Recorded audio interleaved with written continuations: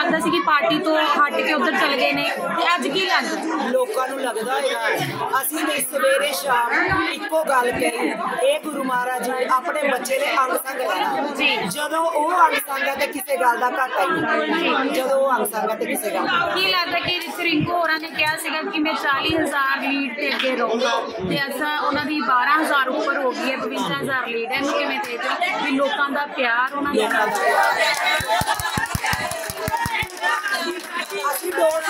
ਜਾਂਦੇ ਸੀ।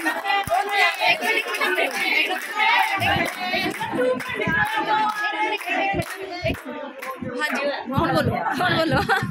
ਹਾਂਜੀ ਜੀ। ਹਾਂਜੀ।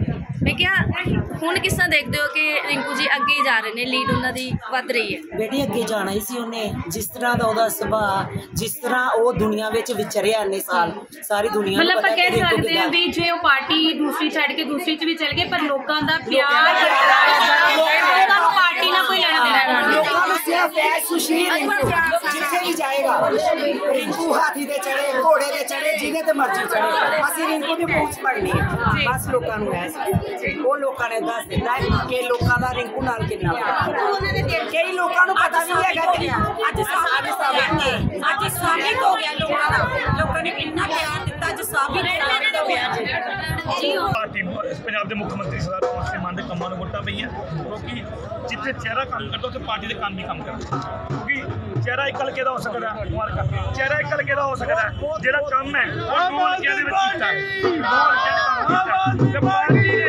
ਜਿਹੜੀ ਬੋਰ ਹੈ ਅੱਜ ਜਲੰਧਰ ਲੋਕ ਸਭਾ ਦੇ ਲੋਕਾਂ ਨੇ 82 ਫੈਸਲਾ ਕਰਕੇ ਰਿੰਕੂ ਜੀ ਨੂੰ ਭੇਜਿਆ। ਉਹ ਚਵੀ ਦੀ ਜਿਹੜੀ ਨੀਂਹ ਹੈ ਉਹ ਰਿੰਕੂ ਜੀ ਰੱਖਣ ਜਾ ਰਹੇ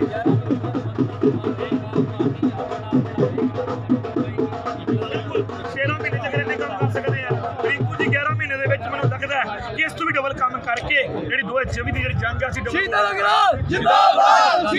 ਕੀ ਨਾਮ ਜੀ ਤੁਹਾਡਾ ਤੇ ਕੀ ਘਟਨਾ ਘਟੀ ਤੁਹਾਡੇ ਨਾਲ? ਮੇਰਾ ਨਾਮ ਜੀ ਜਸਪਾਲ ਸਿੰਘ ਹੈ ਮੈਂ ਜਲੰਧਰ ਹਲਕੇ ਕੈਂਟ ਤੋਂ ਆ ਮੈਂ ਭਾਜੀ ਦੀ ਖੁਸ਼ੀ ਵਿੱਚ ਸ਼ਾਮਲ ਹੋਣ ਆਇਆ। ਬਹੁਤ ਭੀੜ ਕਰਕੇ ਜਦੋਂ ਕਿ ਭਾਜੀ ਬਾਹਰ ਆਏ ਨੇ ਧੱਕੇ ਮੁੱਕੀਆਂ ਔਰ ਗੱਡੀ ਜਦੋਂ ਚੱਲ ਰਹੀ ਸੀ ਉਸ ਦੌਰਾਨ ਮੇਰਾ 11 ਸੀਗਾ ਫੋਨ ਆਈਫੋਨ 11 ਤੇ ਉਹ ਮੇਰੀ ਜੇਬ ਤੋਂ ਪਤਾ ਨਹੀਂ ਕਿੱਦਾਂ ਡਿੱਗ ਗਿਆ। ਮੈਂ ਕੱਢਣ ਲੱਗਾ ਮੈਨੂੰ ਪਤਾ ਨਹੀਂ ਲੱਗਾ ਤੇ ਮੈਂ ਕਿਹਾ ਚਲੋ ਫੋਟੋ ਖਿੱਚਦਾ। ਉੱਥੇ ਲੱਭਿਆ ਨਹੀਂ ਮੁੜ ਕੇ ਫਿਰ ਮੈਨੂੰ। ਫਿਰ ਉਸ ਤੋਂ ਬਾਅਦ ਮੈਂ ਮੈਂ ਸੋਚਿਆ ਕਿ ਚਲੋ ਮੈਂ ਲੱਭ ਲੈਣਾ ਫਿਰ ਮੈਂ ਲੱਭਣ ਦੀ ਕੋਸ਼ਿਸ਼ ਕੀਤੀ ਪਰ ਉੱਤੋਂ ਗੱਡੀ ਲੰਗੀ ਉਸ ਦੌਰਾਨ ਮੈਨੂੰ ਫੋਨ ਨਹੀਂ ਲੱਭਿਆ। ਫਿਰ ਮੈਂ ਬਾਅਦ ਚ ਦੇਖਿਆ ਪਰ ਮੈਂ ਬਾਅਦ ਚ ਫਿਰ ਭਾਜੀ ਦਾ ਕੱਟ ਅੱਗੇ ਜਾ ਰਿਹਾ ਸੀ। ਮੈਂ ਕਿਹਾ ਜਾਂ ਕਿਸੇ ਨੇ ਮੈਂ ਉੱਥੋਂ ਵੀ ਪੁੱਛਿਆ ਪਰ ਨਹੀਂ ਮਿਲਿਆ ਮੈਨੂੰ। ਫਿਰ ਉਸ ਤੋਂ ਬਾਅਦ ਮੈਂ ਕਿਹਾ ਰਸ਼ ਘਟੇਗਾ। ਉਸ ਤੋਂ ਬਾਅਦ ਪਤਾ ਲੱਗ ਜੂਗਾ। ਪਰ ਇੱਥੇ ਕੁਝ ਵੀ ਨਹੀਂ ਦਿਖਿਆ ਸਾਨੂੰ। ਸਰਦਾਰ ਸਾਹਿਬ ਤੁਹਾਡੇ ਨਾਲ ਕੀ ਘਟਨਾ ਘਟਦੀ ਹੈ ਜੀ? ਆਪਾਂ ਜਦੋਂ ਸਵਾਗਤ ਕਰਨ ਲਈ ਅੱਗੇ ਗਏ ਗੇਟ ਦੇ ਜੀ ਜੀ ਤੇ ਰਿੰਕੂ ਜੀ ਦੀ ਗੱਡੀ ਬਾਹਰ ਆਈ ਜਦੋਂ। ਤਾਂ ਅਸੀਂ ਸਵਾਗਤ ਲਈ ਫੁੱਲ ਪਾਣ ਲੱਗੇ ਸੀਗੇ ਉਹਨਾਂ ਨੂੰ। ਹਾਰ।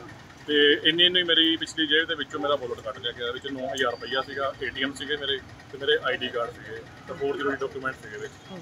ਇਹ ਪਹਿਲਾਂ ਤੁਹਾਡੇ ਨਾਲ ਇਸ ਤਰ੍ਹਾਂ ਦੀ ਕਦੀ ਘਟਨਾ ਘਟੀ ਹੈ? ਪਹਿਲਾਂ ਕਦੀ ਨਹੀਂ ਹੋਈ ਹਾਂਜੀ ਬਾਈ ਜੀ ਤੁਹਾਡੇ ਨਾਲ ਕੀ ਘਟਨਾ ਘਟਦੀ ਜੀ? ਭਾਜੀ ਮੇਰਾ ਆਈਫੋਨ 13 ਚੋਰੀ ਹੋ ਗਿਆ ਜਦੋਂ ਭਾਈ ਦਾ ਰਿੰਕੂ ਰਿੰਕੂ ਭਾਈ ਦਾ ਸਵਾਗਤ ਕਰ ਰਹੇ ਸੀ ਉਦੋਂ ਧੱਕੇ ਮੁੱਕੀ ਲੱਗੀ ਮੈਂ ਲਾਈਵ ਬਣਾ ਰਿਹਾ ਸੀ ਵੀਡੀਓ ਇੱਕ ਦੂਸਰੇ ਫੋਨ ਨਾਲ ਇੱਕ ਫੋਨ ਮੇਰੀ ਜੇਬ 'ਚ ਸੀ।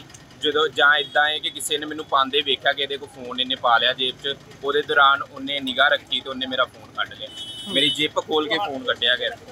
ਕਿੰਨੇ ਕੀ ਕੀਮਤ ਸੀਗੀ ਉਸ ਮੋਬਾਈਲ ਫੋਨ ਉਹਦੀ ਦੀ? 70000 ਹੋਣੀ ਹੈ ਇਸ ਟਾਈਮ ਹੂੰ।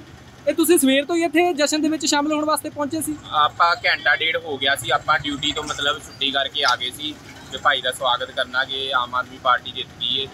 ਤੇ ਆਪਾਂ ਆਏ ਸੀ ਤਿੰਨ ਜਾਣੇ ਇਕੱਠੇ ਹੋ ਕੇ ਤੇ ਇਹਨਾਂ ਦਾ ਵੋਲਟ ਚੋਰੀ ਹੋ ਗਿਆ ਤੇ ਮੇਰਾ ਫੋਨ ਕੱਢ ਇਹ ਲਿਆ ਪਹਿਲਾਂ ਘਟਨਾ ਘਟੀ ਇਸ ਤਰ੍ਹਾਂ ਦੀ ਪਹਿਲਾਂ ਤੁਹਾਡੇ ਮੇਰਾ ਨਾਲ ਅੱਜ ਤੱਕ ਨਹੀਂ ਕਦੀ ਇਦਾਂ ਘਟਨਾ ਘਟੀ। ਇਹ ਫਸਟ ਟਾਈਮ ਹੋਇਆ ਮੇਰਾ। ਇਹ ਤੁਹਾਡੇ ਜੀ ਉਹ ਵੀ ਦੇਖੋ ਰਾਤ- ਜੀ ਬੜੀ ਰੈਲੀਆਂ 'ਚ ਜਾਈਦਾ ਬੜੇ ਪ੍ਰੋਗਰਾਮਾਂ 'ਚ ਜਾਈਦਾ ਇਦਾਂ ਦਾ ਹੋਇਆ ਨਹੀਂ। ਪਤਾ ਨਹੀਂ ਇਹ ਕਿੱਦਾਂ ਹੋ ਗਿਆ ਅੱਜ। ਜਾਂ ਤਾਂ ਸਾਨੂੰ ਲੱਗਦਾ ਜਾਨੂੰ ਸਾਨੂੰ ਜ਼ਿਆਦਾ ਖੁਸ਼ੀ ਕਰਕੇ ਸਾਡਾ ਨੁਕਸਾਨ ਹੋ ਗਿਆ। ਪਰ ਇਹ ਹੈ ਕਿ ਅਸੀਂ ਪ੍ਰਸ਼ਾਸਨ ਨੂੰ ਇਹ ਕਵਾਂਗੇ ਜੋ ਸਾਡੇ ਮੋਬਾਈਲ ਗਿਰੇ ਨੇ ਜਾਂ ਮੇਰੇ ਭਰਾ ਦਾ ਬਟੂਆ ਵੀ ਗਿਰ ਗਿਆ ਵੇ ਉਹ ਸਾਨੂੰ ਜੇ ਹੋ ਸਕਦਾ ਕੁਝ ਕਰ ਸਕਦੇ ਤੇ ਸਰਕਾਰ ਕੁਝ ਕਰੇ ਸਾਡੀ। ਜੀ ਜੀ ਬਹੁਤ ਬਹੁਤ ਥੈਂਕ ਯੂ।